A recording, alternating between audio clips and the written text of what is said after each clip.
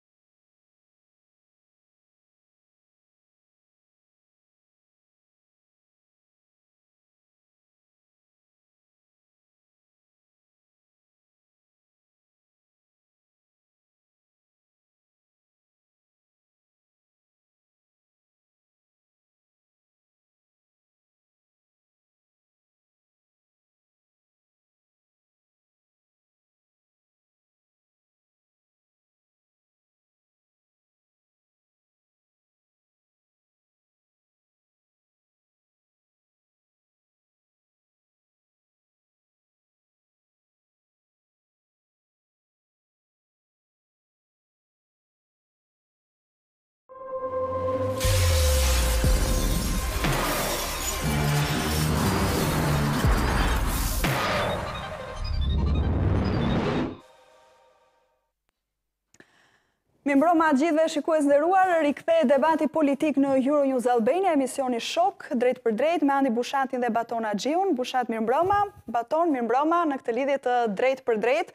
Nuk do të kemi sot pra në studio, gjithsesi debati do të zhvillohet dhe unë menjëherë do të prezantoj dy temat e sotme. Gabriel Escobar, diplomati amerikan, pritet të zhvillojë Shqipëri në datën 9 dhjetor, është pjesë e një turi ballkanik që ka nisur me Republikën e Maqedonisë së Veriut. Vizita e Escobar pikërisht dy ditë para kuvendit kombëtar të partisë demokratike që do të mbahet ditën e shtunë.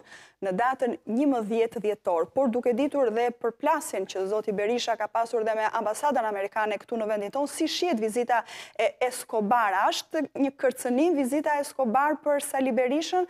Është pyetja që do të shtrojmë në temën e parë të Shok mbrëmjen e sotme. Më tej, Në Kosovë ka shkaktuar debate emërimi i komandantit të Forcës së Sigurisë së Kosovës, Bashkim Jashari, konkretisht nga familja Jashari. Sepse a duhet që FSK-ja e Kosovës të drejtohet nga njerëz të dalë nga nga lufta apo nga njerëz akademikë të cilët janë të shkolluar? Ëm është tema e dytë e e shok për mbrëmjen e sotme. Do të nisim menjëherë me të parën. Bushat, si e sheh vizitën e Gabriel Escobar në vendin tonë? është një kërcënim për Sali Berishën? Tani ka, ka dy gjëra. Po të shikosh të gjithë mediat e Tiranës prej dy ditësh, ose sidomos shumicën e mediave që janë në kor kundër Sali Berishës, po të shikosh gjithë titujt e tyre, vizita është lidhur në, në mënyrë automatike me kuvendin e Partisë Demokratike. është lidhur me kuvendin e Partisë Demokratike të 11 dhjetorit dhe me një lloj konotacioni që Escobar po vjen për të diskredituar ë, kuvendin e Berishës dhe për të mbështetur Lulzim Bashën duke u takuar me Lulzim Bashën. Unë deri tani nuk kam prova as për pro, as për kundër. Di vetëm dy gjëra. Di të parën që Escobar në rastet, në ato pak raste kur ka folur për Berishën, ka përdorur një gjuhë më të moderuar sesa Yuri Kim këtu në Tiranë. natyrisht nuk vihet në diskutim non grata, po në lidhje me garën e brendshme të Partisë Demokratike, Juri Kim është shumë e ashpër kundër Berishës, sesa Eskobar nga lart. E dyta, nuk besoj se vjen enkas për këtë gjë, se është në turne dhe në Maqedoni në momentin që po flasim, pra Është një turne ballkanik i vendosur përpara. Por le të marrim për një minutë të mirëqenë hipotezën që shtrojnë kolegët tanë të mediave anti-Berish, që Escobar po vjen për diskredituar Saliun. Çfarë na tregon kjo? E para na tregon që ambasadorja amerikane në Tiranë s'e paska bërë punën mirë.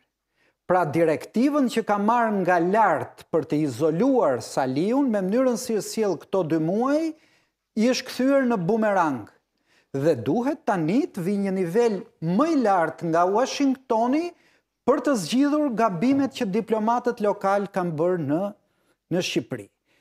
Kjo do ishte e para. E dyta, Në qoftë se Escobar vjen dhe jep mesazh anti Berishës, ky është mesazhi i kundërt, ë atëherë në një farë mënyre do përgënjeshtroheshin të gjithë zërat e mbështetësve të Berishës që çfarë thonë në thelb. Mbështetësit e Berishës thonë po morën PD-n në një farë mënyre do na amnistojë dhe Amerika. Në qoftë se Escobar vazhdon të këmbëngulë në këtë linjë, Nuk do ketë amnistim. Dhe pyetja më dilema ose pikëpyetja më kryesore është ajo që unë do them të tretën, është a mundet një diplomat amerikan të bëhet faktor në luftën e brendshme të Partisë Demokratike. Ne kemi parë në këto 2-3 muaj që shpallja non grata jo vetëm nuk e ka dëmtuar Berishën brenda partisë vet, flasim, ë, por e ka rritur imazhin e tij, e ka rritur forcën dhe mbështetjen në parti. Pra, në qo çdo veprim që do shkonte në këtë drejtim vetëm do forconte Berishën para kuvendit të Partisë Demokratike. E vetmja gjë kur Escobar mundet ta dëmtonte Berishën, ishte që ai t'i vinte kapak debatit të hapur. Kush është debati i hapur? Të thoshte, keni dy muaj që kërkoni provat e korrupsionit dhe minimit demokracisë nga Sali Berisha, ja ku i keni. Kjo gjë para Kuvendit, po, do e dëmtonte Berishën. Por në qoftë se Edhe ky si Yuri Kim thot llafe në erë, do bëjë prap të kundërtën e veprimit që do arrijë dhe do e forcojë në vend që ta dëmtojë Berishën. Unë mendoj që shoqëria shqiptare sot ringjalljen e Sali Berishës ja ka për borxh politikave idiote të diplomatëve amerikanë. Po. Baton, ti si e sheh vizitën e Escobar në Shqipëri si një kërcënim për Sali Berishën? I kam disa teza të cilat e para vështirë se qëndrojnë. Pastaj të tjerat mund t'i diskutojmë në vazhdim. E para, Escobar vjen për të takuar Edi Ramën dhe për të takuar Lul Bashën. Hapi parë është... Ka në fakt një dhe një gjë. Dhe dhe hapi parë është që ekskomunikon uh, një kuvend dhe një paraqitje të një lideri t'ardhshëm. Po them kështu kushtimisht. E dyta, nëse takon vetëm këta dy, ky nuk e takon vetëm momentin politik, por edhe të ardhmen politike. Thot shumë qartë që nuk ka takime nëse Partia Demokratike përcaktohet me një lider çfarë është Sali Berisha. Dhe e treta, ë nëse si përgjigjet as Escobar as askush tjetër, po i përgjigjem edhe Bushatit, një shtet i huaj. mundet vetëm përmes mediumeve që të shpalos ose përmes mediumeve ndërkombëtare të shpalos korrupsionin e një lideri të një shteti tjetër. Për arsye se korrupsionin dhe ngritjen e hetimeve mund ta bëjnë vetëm organet të cilat i takojnë shtetit në këtë rast Shqipërisë. Nuk mund të vendos Amerika se ku është i korruptuar Berisha. Edhe një herë nuk pe kuptojnë nëse këta tjerët nuk pe kuptojnë. Esenca është që Shtetet e Bashkuara të Amerikës janë përcaktuar që nuk bashkëpunojnë me një lider çfarë është Sali Berisha. Dhe këtë po don t'ua bën me dije shqiptarëve. Ata nuk e lënë mbrenda shtetit tyre. Ata nuk përzihen se çfarë do të jetë vendimi i demokratëve për t'ardhmen. dhe çfarë do të jetë vendimi i shtetit shqiptar për Sali Berishën. Është esenciale kjo. Dhe nuk kem çka e përzim Shtetet e Bashkuara të Amerikës të na ofrojë korruptive për një njeri i cili haptas dihet se çfarë është jeta e tij politike. Mos kërkoni nga Escobar që të thotë, ja ku e keni dosjen, ky njeri është i korruptuar. Ata e kanë me veten, nuk e kanë me shtetin shqiptar. Nëse shteti shqiptar ta përcaktohet ta vendosë një njeri të tillë në krye të Partisë Demokratike dhe në krye të shtetit të saj, le ta mbajnë peshën e vet politike dhe pastaj të shohim se si sillen Shtetet e Bashkuara të Amerikës. Dhe këtë në fund deshta të të polemizoj me Bushatin dhe me idenë e Yuri Kim. Yuri Kim është përfaqësuese e presidentit të Shteteve të Bashkuara të Amerikës. Ajo realisht është president mbrenda mbrenda ndërtesës së saj. Dhe kur kur ka të bëjë me Shqipërinë. Domethënë është njeriu kryesor i presidentit të Shteteve të Bashkuara të Amerikës. Escobar është i State Departmentit. Dhe ndonjëherë për shkak të kontakteve, për shkak të psikologjisë ballkanike se nëse kontaktojmë një njeri mund të ndikohet nga rrethanat, mund të keqkuptohet, mund ta informojnë gabimisht, atëherë Ky keqkuptim, i cili ndodh mbrenda një konteksti social shqiptaro-amerikan në një hapësirë sociale, vjen dikush tjetër i thotë, unë nuk kam, ne s'kemi ndryshuar asnjë mendim. Dhe përfaqësuesja jonë, domethënë ambasadorja e Shteteve të Bashkuara të Amerikës, nuk ka thënë asgjë më shumë as më pak se sa që e them edhe unë. Dhe unë besoj, me nanë, këtë do ta thotë Escobar. Dhe pastaj Bushat vazhdojmë të gjithë ne ta përkrahim me krye Sali Berishën dhe të shohim a a do të mund që Partia Demokratike dhe shteti shqiptar të ndërtojnë marrëdhënie me Shtetet e Bashkuara të Amerikës. Baton, para se të bëj replikë për dy gjërat që më kundërshtove, s'të kuptova një gjë, prandaj dua të të bëj një pyetje. Po. Në analizën tënde, Escobar do vijë të luajë vetëm me simbole, pra të thotë unë takoj Lul Bashën dhe për mua ky është legjitimi, apo do ketë diçka si po sikur po ngrihet në shtypin shqiptar që ai do vijë si buldozer me mbështetje shumë të madhe. Pra ti thuaj vetëm kaq simboli do takoj Bashën dhe me fotografi do thotë ky është joni, se të s'e kuptova. E para Bushat Escobar do thotë atë që ka thënë shefi i shtetit. Fjalitë e tij besoj që do i thotë një për një. Dhe unë nuk besoj që do dalë jashta fjalive të Blinken. Do të ishte e paarsyeshme që një vartës i sekretarit të shtetit të dilte përtej asaj veç përveç nëse ka ndonjë mesazh të veçantë. Unë besoj që do të jetë me fjalitë e njëjta të cilat Blinken i ka thonë. Bile, nuk, nuk besoj që i përdor ato fjali. Nuk besoj që i përdor ato fjali. Dhe ai do të thotë, unë nuk do shtoj asgjë nga ato që ka thon zoti Blinken. S'pak gjuha të cilën dhe pastaj shqiptarët ta kuptojnë si don. Tani, dy replikat që kisha me ty, për po. replikat që ti bëre me mua. Domethënë, ti thua që Ne nuk kemi nevojë ne si shqiptarë e njohim Sali Berishën se kush është dhe nuk kemi nevojë të na hedhë fytyrës Amerika një dosje për të kuptuar se kush është Amerika. Unë jam dakord se kush është Berisha, unë jam dakord me ty. Por unë dua ta fus debatin në hullinë për të cilën po diskutohet në Shqipëri. Në Shqipëri pala e fraksionit të vulës në Partinë Demokratike, thotë Ne përjashtuam Sali Berishën se ne dimë shumë më tepër gjëra se dini ju. Ne amerikanët na kanë vënë parasysh dokumenta që na shtynë të merrnim këtë vendim dhe prandaj ne morëm këtë vendim se dimë më shumë sesa di publiku. Pra, Ideja është që ti këtë gjë nuk mund ta skualifikosh dhe thuash ne nuk kemi nevojë. Ne debatin në Shqipëri e kemi midis dy palësh.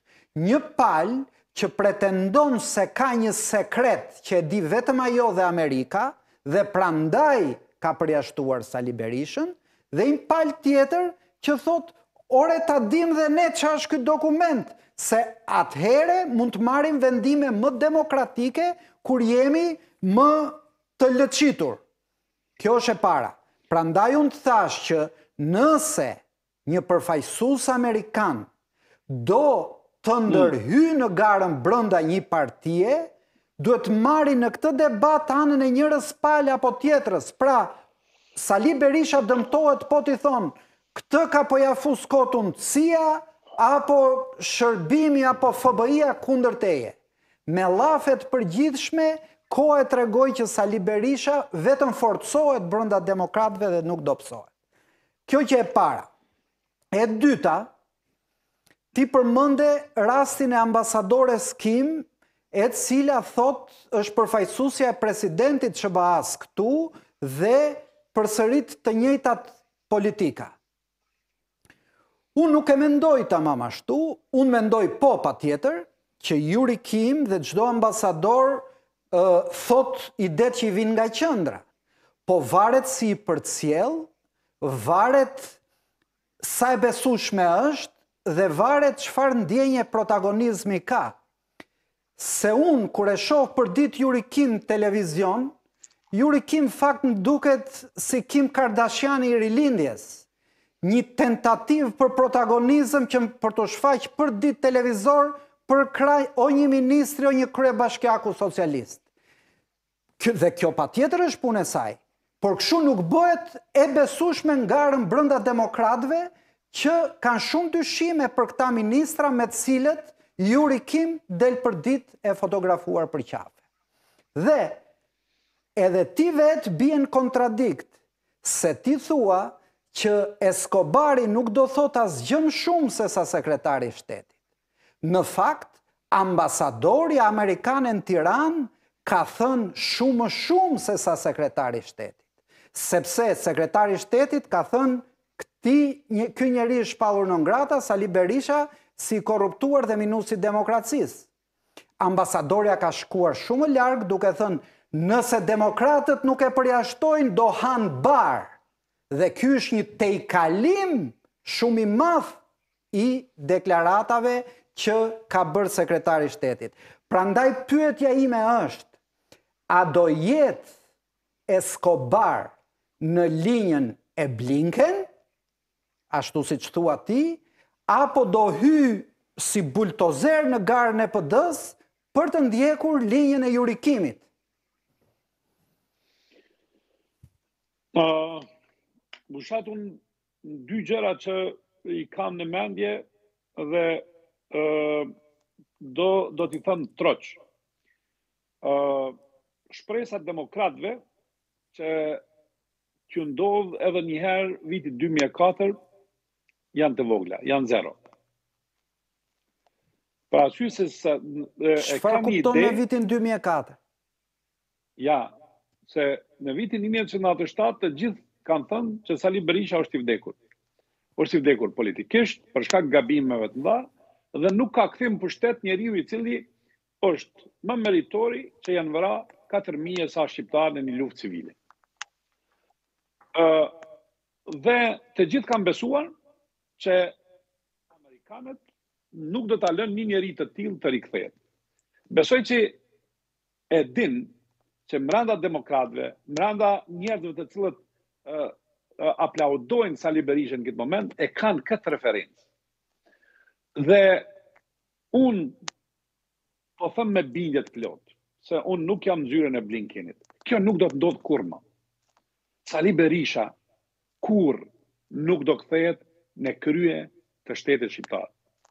Edhe nëse kthehet, kurrë nuk do të jetë e e i aplauduar ose i mirëpritur nga Shtetet e Bashkuara të Amerikës. Kjo është e para.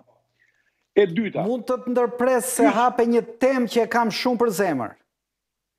Dhe ta thua, pasi të mbaroj unë, vazhdo me të dytën. Se tani e kam, e kam të dytën tubimin që Sali Berisha thirri në New Jersey. Një Ok, vazhdojmë. Prit, prit se e, e shkëput, e, e bëjmë pas atë. Hape një temë, prandaj thashë hape një temë që unë e kam shumë për zemër.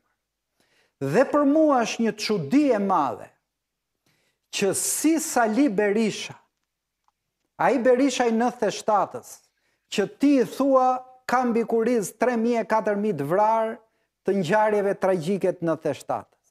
Se si Berisha i zgjedhjeve të majit 96, se si Berisha i cili ishte i vetmi president që burgosi liderin e opozitës e kishte në burg Fatos Nanon, u, u ribë i preferuari i amerikanëve.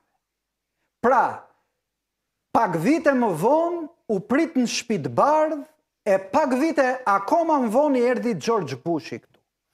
Në qoftë se duhet të kemi... Ke hy në një tem... Prit, jo, prit... Ke hy në një temë që do një kontekst politik. Nuk jo, jo, kështu. Ta mbaroj, Baton. Për mua, po. një Amerikë e drejtë, ndriçuese, do shpallte non grata Berishën e nëntë e shtatës. Por unë nuk besoj dot se nuk jam idiot Te një Amerikë që m'amniston Berishën e nëntë e shtatës dhe m'godet Berishën e qeverisjeve dy mijë e pesë dy mijë e trembëdhjetë. Këtë Amerikë unë jo vetëm e vë n'dyshim, po e ftoj çdo shqiptar që ta vërë n'dyshim se kjo nuk është Amerika e të drejtës dhe të vërtetës.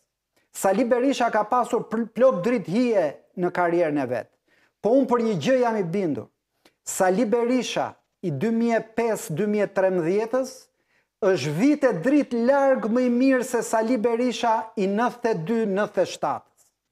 Dhe të shpallësh kampion demokracie dhe mik të presidentëve amerikanë këtë Berishën e parë dhe të shpallësh non grata këtë të dytin, pasi e kemi amnistuar të parët, kjo vetëm Amerikë e të vërtetës nuk është, Baton. Prandaj unë kam shumë pikëpyetje dhe kam filluar për ditë e më shumë t'i besoj dhe teorive më konspirative që flasin për një komplot në favor të Edi Ramës, se sa Për një Amerikë që na thotë të vërtetën. Amerika e vërtetës do kishte shpallur non grata Berishën e nëntëdhjetë e shtatës.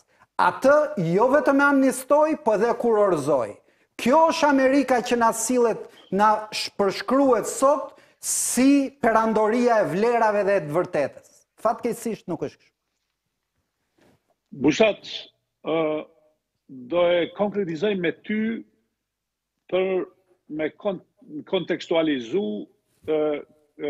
po them kontekstin social edhe politik të kohës dhe të kohës 90-97 dhe 2004-2013. Po, u larguat shumë dhe se s'ka dhe shumë kohë, Baton. Jo, jo, jo, vetëm ta sqaroj. Bushati i vitit Nëntëdhjetë e një nëntëdhjetë e shtatë ka qenë në fillimet e gazetarisë së tij. Bushati i vitit dy mijë e njëzet e një edhe i vitit dy mijë e trembëdhjetë tek e fundit janë kanë dallime serioze, serioze edhe nga mënyra se si mendojnë, si shkruajnë, edhe se sa optika intelektuale e e këtij tash, këtij Bushatit dallon prej kohës kur kur kur ka qenë Bushati në fillesat e gazetarisë në Koha Jonë. Të faleminderit, unë njoh shumë njerëz që janë përkeqësuar se jo, që përmirësohesh me kohë vetëm te mm. vera funksionon, njerëzit nganjëherë dhe përkeqësohen. Tash, tash, Atë fjalinë që desha me të thanë, pse Berisha i nëntëdhjetë e nëntë, dy mijë e shtatë, nëntëdhjetë e shtatë, nëntëdhjetë, nëntëdhjetë e shtatë ka qenë figurë qendrore e përkrahjes nga amerikanët? Bushat, për një arsye, për arsye se mas zgjedhjeve të vitit një mijë e nëntëqind e nëntëdhjetë kanë fituar komunistët në zgjedhjet e para Po më plurale. thuaj gjëra të ndryshme, o Baton. Jo, jo, prit. President, presidenti Sali Berisha, o Baton, po jo po se po ikën në drejtim të gabuar. Jo, jo, ti se ti e kontekstualizove gabimisht. Ose me Skype nuk arrin të më dëgjosh, unë nuk po them. Po ti s'po do me më dëgju. Po vazhdo. Po se s'ka dhe shumë kohë. Berishaj i nëntëdhjetë nëntë shtatës ka pas përkrahjen e Amerikës për arsye se shoqëria shqiptare nuk e kuptoi Pse e amnistuan mbas më mbas? A më kupton ça të them? Domethënë Amnistuan dy mijë e katërtën. O Baton. Dhe në nëntë e shtatën. Berisha iku nga pushteti në nëntë e shtatën. Në qoftë se mund të flasim për një Berishë, Të korruptuar se lejoi gjithë ngritjen e piramidave dhe minues të demokracisë që s'bëri as zgjedhje burgosi opozitën, ky është Berisha i nëntë e shtatës. Këtë Berishë amerikanët jo vetëm e amnistuan, po e pritën dhe në Shpi të Bardhë dhe e bënë mik të presidentëve. Në qoftë se sot duhet të flisnim për një Berishë non grata, Në qoftë se duhet të flisnim një Berishë non grata duhet të ishte Berisha i parë, jo Berisha i dytë. Derisa amnistuan të parin dhe e bëjnë non grata të dytin, e bëjnë për kalkulime të ulta politike po të them. Nuk është kjo Amerika e vlerave. Kjo është Amerika e kalkulimeve. Më vjen keq Bushati por amnistimin e një krimi e ka bë gjykata dhe politika shqiptare. Lëri mo lëri këto për gjykata dhe sot po edhe sot është Berisha i pafajshëm për gjykata mos m'u hidh nga dega në degë. Jo mor jo mor nuk na kanë faj gjithë të huajt dhe nuk na kanë faj gjithë as Bashkimi Evropian. Po ç'e ke këtë aftësi për t'u hedh nga dega në degë o Baton. Po jo more burrë, jo se po, nuk është ashtu. Mos nuk, fut, nuk është ashtu. Mos fut element gjykata se sot dhe për gjykatat Berisha është i pafajshëm. Unë po të them, po e marrim vetëm nga pikëpamja e Washingtonit. Nga pikëpamja e Washingtonit, Berisha i parë me atë që i ka bërë demokracisë shqiptare shumë më i dëmshëm. Atëherë ata e amnistuan me këtë që i ka bërë herën e dytë shumë më pak i dëmshëm. Tani po e dënojnë. Ky kjo mospërputhje vlerash, koherence dhe parimesh mua më bën të dyshoj që ka diçka të pisët në prapaskenë. Kjo është ajo që po të them. Ti më fut gjykatat shqiptare që s'kan fare lidhje me po jo, debatin që po, po bëjmë. Jo, nëse në nëse i marrim 4000 të vramë që unë po them pjesën e fajit e ka Berisha, atëherë po Berisha nuk është dashtë të amnistohet, nuk është dashtë të rikthehet kurrë në politikë pas një as, as një gabimi të madh. Po kjo është dyfytyrësi e administratës amerikane pra. Dhe prandaj unë po të them, dhe prandaj unë po të them që vendimi i tanishëm për ta shpall non grata jo vetëm është i paarsyetueshëm, por është dhe i dyshimt për kalkulimin politik që i vjen nga pas. Mirë, ja dhe një opinion të fundit, Baton Fakti që nuk lejohet të shkojë në, Baton, se mos të zgjatet shumë. Një opinion të, të shkurtër meqenëse e preke dhe pak më herët. Fakti që nuk lejohet të shkojë në Shtetet e Bashkuara të Amerikës nuk e ka penguar Sali Berishën që online në distancë të ketë dhe mbështetjen e shumë demokratëve të tij në në në SHBA. Unë, Bruna, kam jetuar me zogistet disa javë me zogistet në në Bruksel dhe nuk pritoj t'i ndëgjoj edhe demokratët demokratët e vitit nëntëdhjetë në në Nju Xhersi. Janë të njëjtit që memorien e kanë në momentin kur kanë ikur nga aty. Nuk u besoj atyre se për për përkrahjen që ata na japin në momente të tilla në në në Shqipëri dhe në Kosovë. Unë e du në, e, e, e adhuroj po them dëshirën e tyre për të ndryshuar Shqipërinë, por nuk më duhet që ata në një farë mënyrë apo tjetër të ndikojnë në atë që quhet kontekst social politik shqiptar. Ata për mua janë amerikanë që flasin shqip dhe nëse i duan t'i ndihmojnë Shqipërinë, le të vijnë, le të investojnë dhe t'i bëjnë ma të mirën Shqipërisë. Dhe le të ndikojnë në Kongres se çka është e mira për Shqipërinë.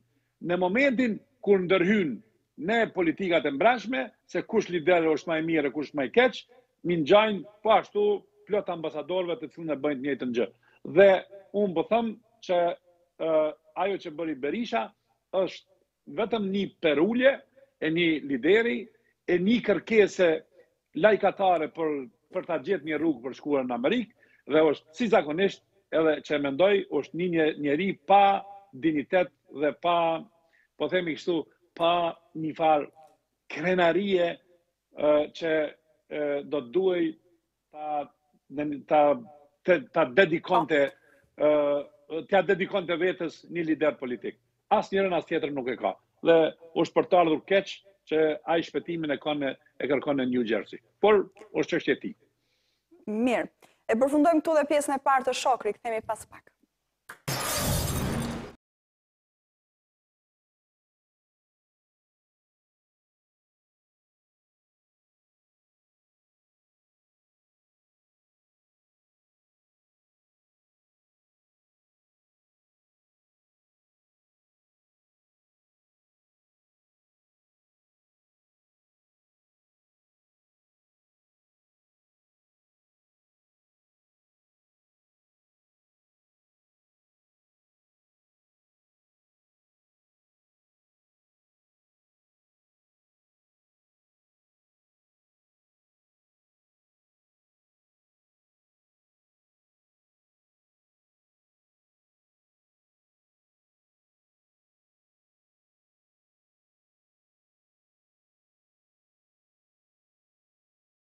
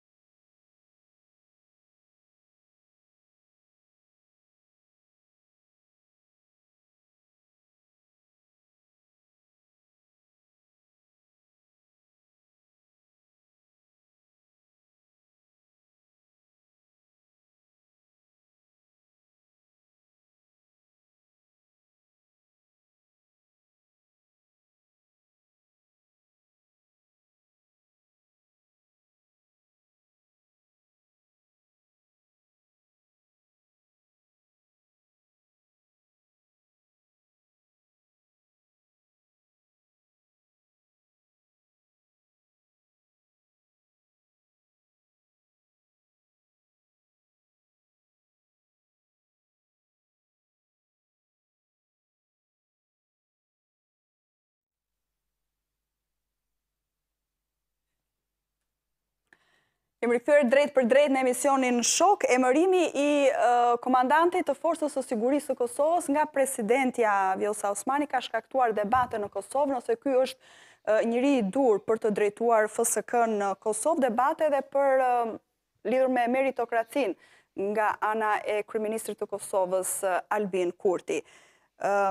Baton, përse kaq debate për emërimin e kreut të ri të FSK-së? Realisht sot pikërisht ish liderët e UÇK-së ose njëri prej tyre ka bërë një letër publike për kontestuar mënyrën se si zgjedhen njerëzit ose ata që udhëheqin FSK-në. Ka një kohë të gjatë që ka pas një debat mes KFOR-it, respektivisht NATO-s dhe FSK-së dhe presidentit Thaçi në atë kohë kur ishte në krye të shtetit, për të bërë më shumë që njerëzit e UÇK-së të zëvendësohen me njerëz të shkolluar në shkollat më të mira britaneze, turke dhe amerikane. Ata në gara të ndryshme kanë arritur sukseset më të mira në regjion dhe kanë arritur edhe suksese edhe në ushtrimet ushtarake jashtë jashtë Kosovës. Është një ushtri e disiplinuar dhe që funksionon mbi këto premisa. Zgjedhja e Bashkim Jasharit është një prej këtyre miteve të reja të një gjenerate të re politike e cila don me pas dikund prekjen me Ushtrinë Çlirimtare të Kosovës për arsye se ose ta bëjë një pjesë të saj për vete, se për arsye se s'kanë qenë asnjëherë pjesëmarrës në dhe as ndikues në në as në luftë, as në formimin e tyre. Dhe ajo që më habit mu është që ë Albin Kurti si kryeministër dhe Vjosa Osmani Vjosa Osmani kanë emëruar Bashkim Jasharin. Po është e vërtetë që Bashkim Jashari ka elemente heroike se ka luftuar, është një prej luftarëve dhe është djali i Rifat Jasharit, i cili ka qenë në në shtëpinë e Jasharëve kur është kur është sulmuar në mars shtëpia dhe kur ka rezistuar familja Jashari dhe janë vrarë 28 anëtarë të familjes. Por, njëzet vjet mas luftës, simbolika do të duhej të ishte ndryshe. Sidoqoftë, është vendim i tyre, por nuk di çfarë do të thotë ë Bushati, besoj se te kjo pjesë nuk kemi çka ça të themi, por nuk di ça do të thotë Bushati për nepotizmin, po themi kështu, patriotik, se s'mund me thënë, s'mund të themi nepotizmin familjar, është një shprehje që e gjeta në këtë moment, nepotizmin patriotik të kësaj gjenerate politike, e cila, e cila uh, dikur të gjitha këto vendime dhe veprime i ka qujtur kapje të shtetit. Dhe uh, mbas 6 muajve, 7-ve, veprimet të cilat po ndodhin jo rrallë, e kanë këto elemente të një shoqërie e cila e don i don institucionet në nivel tjetër. Në nivel Përse e ka shkelur kjo qeveri ato që dikur e ka kritikuar Baton, nepotizmin? Unë e thashë që në fillim, ajo don ta ketë një prekje me me me ushtrinë, me luftën, për arsye se ë shpeshherë i përdor do elemente patriotike të panevojshme në vendin ku ata udhëheqin. S'ke nevojë të jesh i tillë nëse bën veprime, veprimi patriotik është nëse ti e emëron njeriun më të merituar në polici ose në FSK ose në bankë ose dikund tjetër. Ai është për mu patriot. Ata të cilat kanë referenca të luftës, ata dhe respekti duhet ndryshe. Ua bën respektin me plot simbolika ka respekt, respekt për njerëz të tillë. Kjo ça po bëjnë këta, as e kanë kuptimin e kohës, as nuk e dinë dhe realisht çfarë çfarë duan me simbolikën e vendosur. Po. Po. Uh, Bushat? Po. Tani mënyra si e shtron Batoni duket sikur të gjithë duhet të gjejmë konsensus. Në ç'kuptim? Pra, Edhe vetë gjatë kohës së opozitës e mbaj mend shumë herë Albin Kurti ua përmendte si kritikë komandantëve që fakti që ju keni marrë pushkën si patriotë në kohë të luftës, nuk është se duhet t'ju japi favore dhe në kohë paqe. Dhe Batoni tani e shtron që ky parim i kohës së Vetëvendosjes në opozitë po shkelet. Edhe mua në kushte laboratorike po më pyete më mirë një patriot që ka marrë armën dhe ka luftuar apo një ushtarak profesionist i shkolluar në akademitë e perëndimit, patjetër do thosha që ndoshta është më i mirë i dyti. dhe këtu besoj biem dakord në teori. Por ku qëndron problemi në praktik? Problemi në praktikë qëndron në termat që Batoni përdor.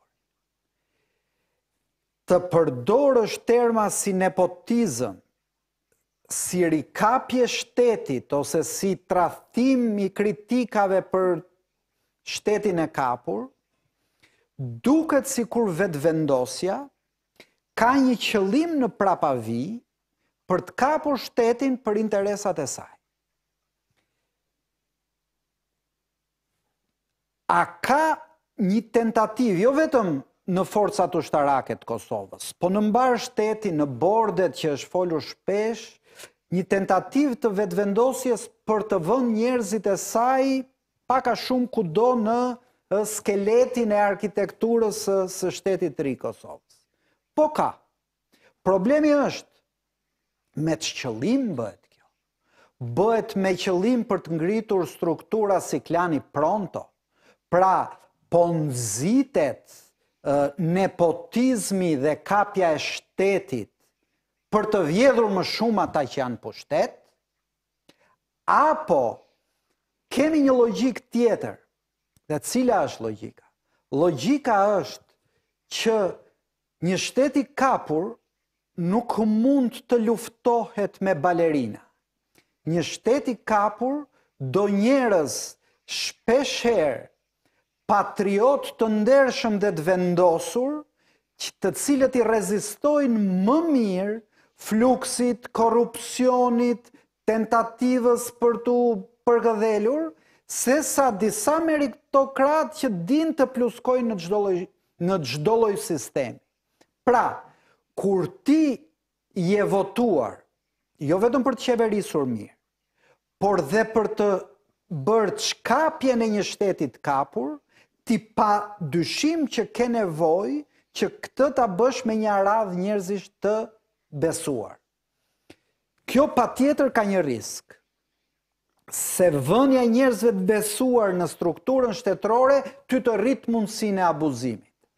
Po deri në pikën Kur ne flasim sot që qeverisja e Vetëvendosjes mund të ketë shumë difekte, por nuk ka abuzime me fondet publike, nuk ka ngritje skema si kudo në Ballkan për të vjedhur paratë publike, atëherë unë në më të mirën time dua ta shikoj si një tentativë për të vazhduar revolucionin e çkapjes së shtetit, sesa një nismë për të rikapur shtetin nga të tjerë persona. Gjithmonë te kjo pikë kur një qeveri s'bën asgjë, nuk ka... Dhe s'bën asgjë ti kupton që edhe nuk vjedh. Se zakonisht në Ballkan të bësh gjë është të vjedhësh. Jo, kur një qeveri nuk bën asgjë, s'ka asnjë veprim dhe nuk ka as për zgjedhje të punëve publike dhe të firmave që bëjnë punën publike, atëherë nuk mund të flasim në këto 6-9 muaj për një gjë të tillë. Ë nuk e di, Bushat unë e thashë edhe herën e kaluar, do vijë momenti kur ë edhe do flasim për për tentativa të tilla. Por Unë dola dikun te tjetra, të, të dikun tjetër. Unë desha me u nal te fjalia e Albinit që i drejtohet Ramush Haradinajt. Që i thotë, ti mund të jesh për mua hero i luftës. Dhe në qoftë se pas vitit 99, nuk ke kontribuar për shtetin e Kosovës, i ke bërë temit dam shtetit të Kosovës, ti je Hero dikur dhe keqbërës tash. Dhe unë pajtohem me këtë, me me Albinin, që i ndan fazat me merit, e meritave po, të njeriut, për arsye se njeriu ndryshon rrugës, mund të jetë më i miri, por rrugës bën gabime jetësore, të cilat i kushtojnë pastaj që jo edhe në jetën private dhe publike. Por Nëse ti e ke akuza publike në parlament si lider i opozitës për këto gjëra, pastaj si kryeministër prapë e përsërit këtë në raport me Ramush Haradinajn dhe bën veprime nepotiste, të tilla ose të ngjashme, atëherë kam të bëjmë, ka problem me njeriun, ka problem me frymën, ka problem me të vërtetën, ka problem me mënyrën se si ai e sheh, si e sheh ai të vërtetën e tij. Dhe nuk është e vërteta e Albinit, E vërteta që duhet të dominojë në qoftë ajo edhe e keqe. Dhe unë deri me tash të gjitha të vërtetat e Albinit e kanë një dozë të të të pavërtetës të madhe. Mirë. Mirë, përfundojmë këtu emisionin Shock për mbrëmjen e sotme, menjëherë më pas, si, si çdo të hënë, me Erla Mëhillin, me emisionin e saj Now. Erla, mirëmbrëma, të rec! Çfarë do të diskutohet sot, cila është tema? Mirëmbrëma Bruna, do të flasim, e trajtuat dhe ju sot në Shock, do të flasim për foltoren që organizoi ditën e djeshme Sali Berisha në New Jersey, i pamundur për të shkuar në Shtetet e Bashkuara të Amerikës, por virtualisht udhëtoi përtej oqeanit, pra në Shtetet e Bashkuara të Amerikës, do të flasim dhe për Ardhjen e të dërguarit të Shteteve të Bashkuara për Ballkanin Perëndimor, zotin Escobar, a ka lidhje kjo vizitë e tij me Kuvendin e datës 11 dhjetor, siç u shit në media, apo është një vizitë e planifikuar më përpara? Në rast se zoti Escobar do të japi mesazhe të forta kundër Sali Berishës, a do të ndikojnë ato tek demokratët dhe tek ata që do të mbledhin kuvendin e datës 11 dhjetor? Për këtë, por dhe për kuvendin, për të zbuluar detajet e reja, do të mundohemi dhe do të flasim sot në emision. Ela, suksese, faleminderit, shikues të nderuar, Shock rikthehet nesër, në orën 20, natën e mirë.